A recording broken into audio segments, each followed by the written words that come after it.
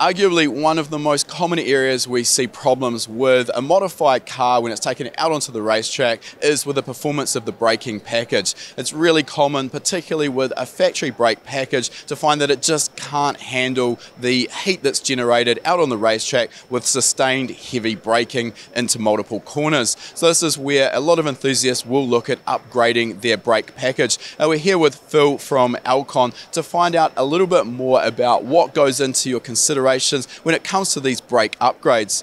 So, Phil, for a start, let's just talk about where the limitations lie in a production brake system. Obviously, a production car is designed predominantly for use out on the road, and obviously on the track, we're generating a lot more heat. So, where are the problems we sort of see with that brake package when the heat generated starts to become excessive? Well, the, as you say, the problems are really in the heat capacity of the system. There's not there's not enough mass in in a a stock rotor to handle multiple high energy braking events. And then also the friction material itself is designed to be quiet and to work well at low temperatures and just around town. And generally, they don't hold up to the type of abuse you'd put on a racetrack. So basically, the, the, the disc, the rotor cannot get rid of the heat fast enough. It's getting heat put into it faster than it can reject that heat. Plus, yep. you've got the friction material that's not designed for a road car to work at those elevated temperatures in a nutshell. Exactly, yes. And the calipers, too, are not designed for the high temperatures either. All right, so there's multiple areas that we need to focus on here. So let's just work through the system. Mm-hmm. So uh, the first, of course, is a, a, a, larger rotor. So can you talk us through the benefits of moving to a larger rotor, both in terms of diameter and thickness? Yeah. So if you if you increase the size of the rotor, then you're automatically getting more brake torque, which is first of all most important. A bigger rotor will generally cool better. You'll have a you know a good racing rotor will be uh, designed to pump air through it so it gets rid of the heat quickly. Um, and then in terms of the thickness of the rotor, again, that can give you thermal mass, additional thermal mass to keep everything under control, uh, and also uh, help with the with the rejection of the heat.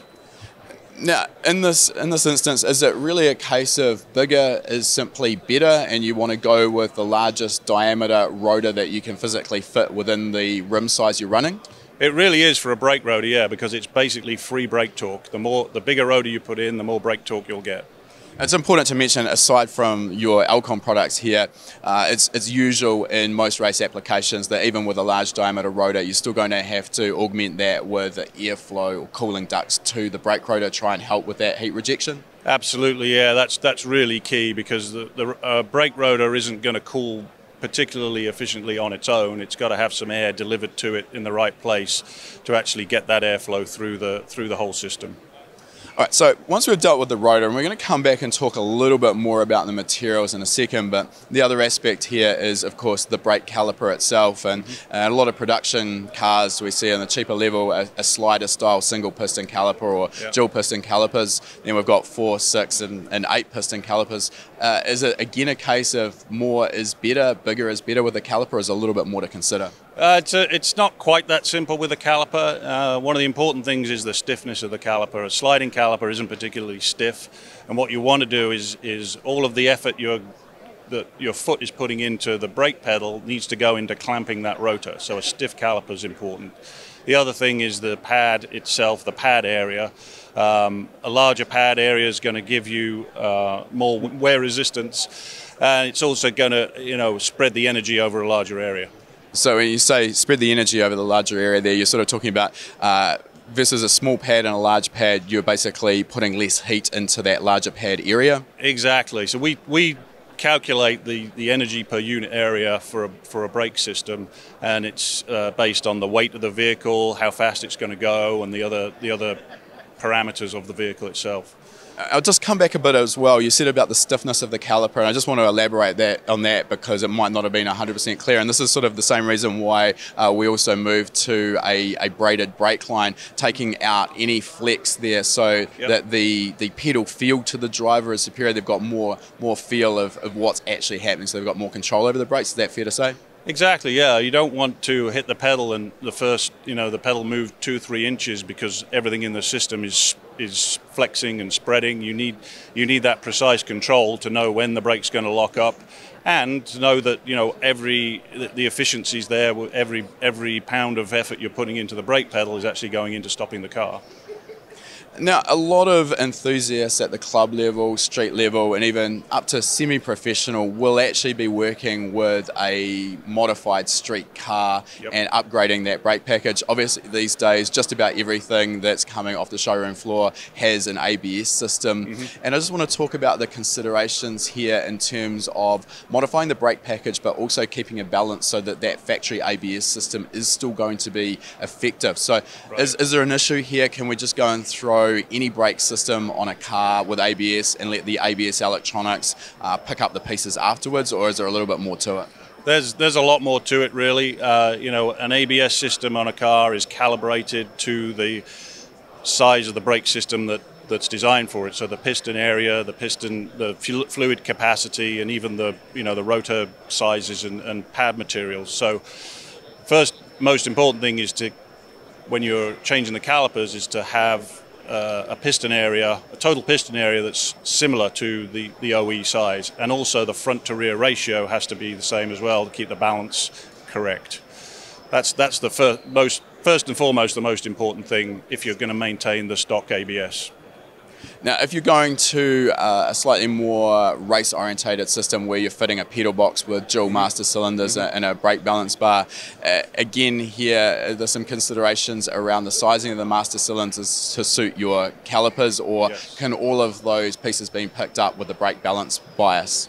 No, the brake the, the brake bias, uh, the balance bar is really a fine adjustment. Uh, first, you need to get the the basic balance of the system correct with the caliper piston sizing and the rotor diameter sizing, and that's a simple calculation that we can do. Then we'll select the master cylinder sizes, which is sort of the more coarse adjustment for the balance.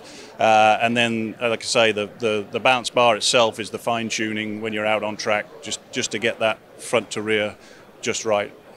Okay, just coming back to the, the piston sizes in the caliper as well. We see a, a, lot of calipers where, let's say we've got a four or a six piston caliper, uh, the individual pistons are all the same size, and then we've got other calipers where uh, the piston sizes are sort of staggered or differential sizes.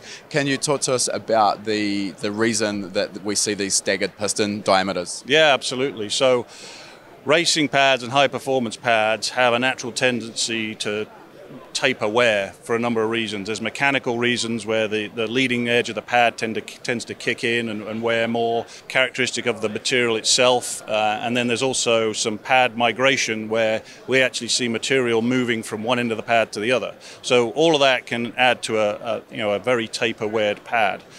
So the piston, the staggered pistons help to counteract that.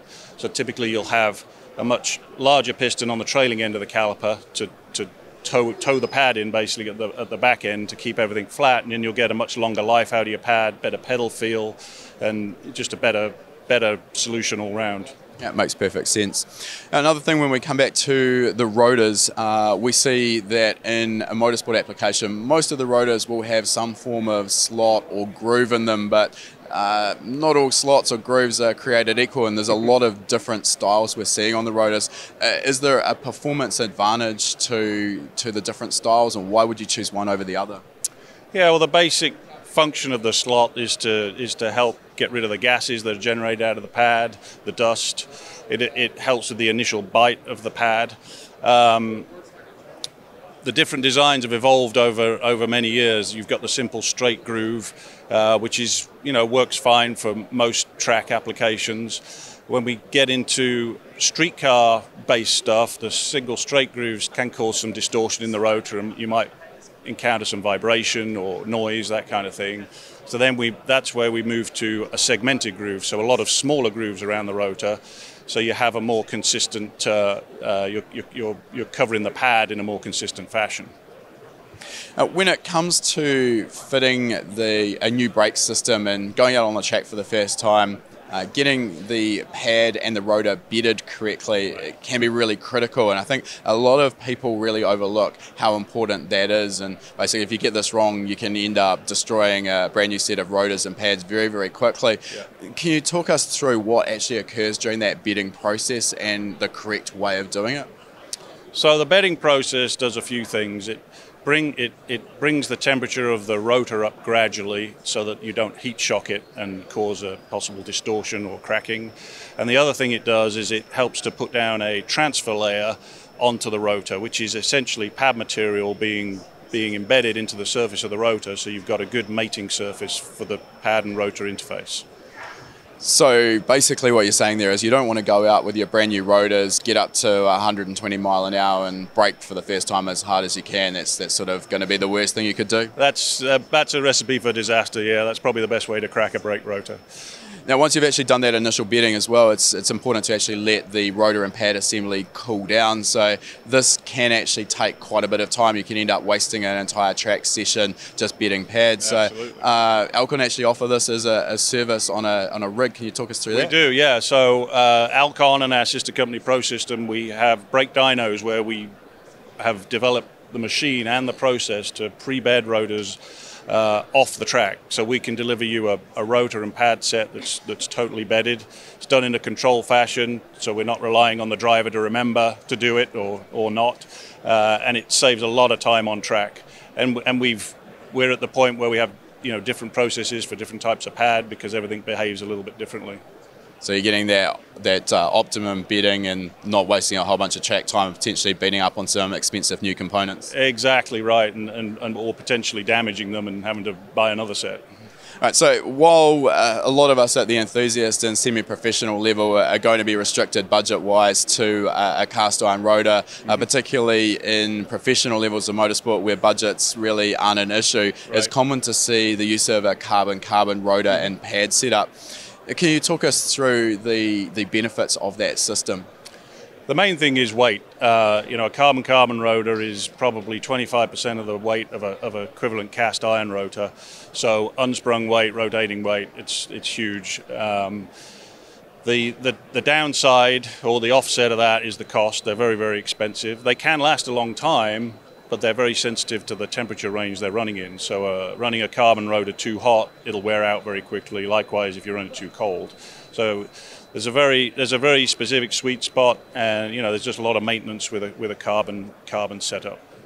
In terms of uh, a lot of the high-end production cars, we see uh, carbon ceramic rotors. Yes. So another take on that. Can you talk us through what a carbon ceramic rotor is? So a carbon ceramic rotor was developed from carbon carbon. It basically has added elements that improve the wear for, of, of the disc, which makes it much more suitable for the street. It uh, it performs very well when it's cold, and and through the temperature range. But it's still the carbon ceramics still have the issues where they run very hot. The wear rate accelerates very quickly. I mean, obviously not a major consideration for a race car with the, the performance from absolute cold, but definitely much more of a consideration for your, your road car. You'd like to know that first time you hit the brakes coming out of your, your garage that the car is going to stop. Exactly, yeah. It's been great to get some insight there into what goes into a motorsport brake package. And if people want to find out more about the Alcon product specifically, where can they go to? Go to our website, alcon.co.uk or the ProSystem website, prosystembrakes.com. Perfect. Thanks a lot for your time there, Phil. You're welcome. If you like that video, make sure you give it a thumbs up. And if you're not already a subscriber, make sure you're subscribed. We release a new video every week. And if you like free stuff, we've got a great deal for you.